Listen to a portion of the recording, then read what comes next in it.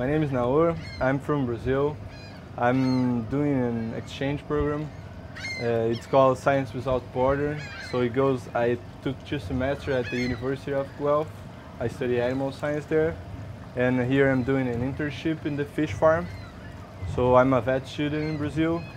And uh, I'm, I'm trying to learn some stuff about fish farm because I started studying it doing some research with fish in Brazil, and now I'm trying to upgrade my knowledge over here. One of the guys that is helping me is Adam.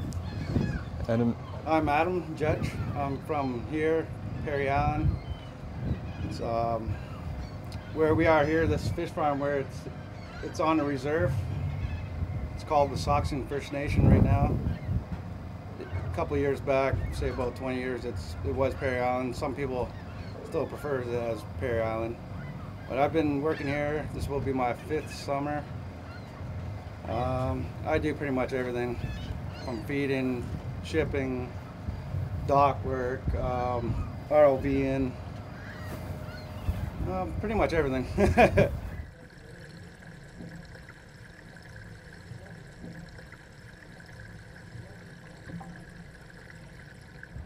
Yeah, Adam. Adam is one of the guys that is helping me a lot to learn uh, all the stuff that go around here.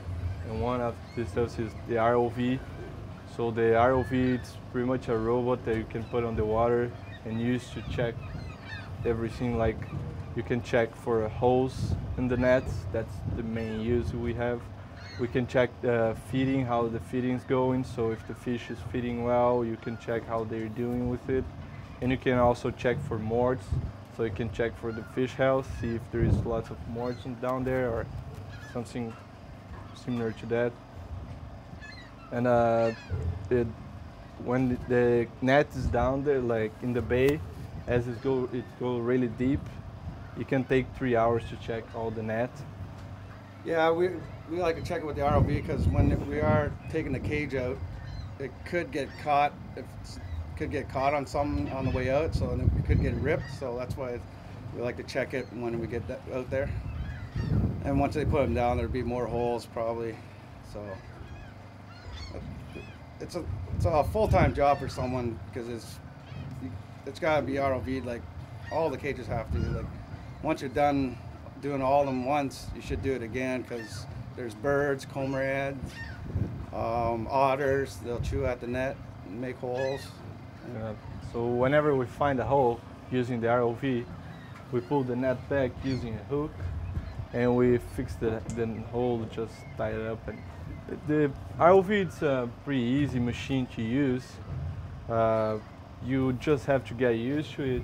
It's usually like you have to adapt with the speed it goes, and when it goes down or up, it might change a little bit. So you have to control it, and it tends to turn to right. So but after you learn how to use it, it gets pretty easy to deal with it. And it's a pretty good tool to have in a fish farm. That's for sure.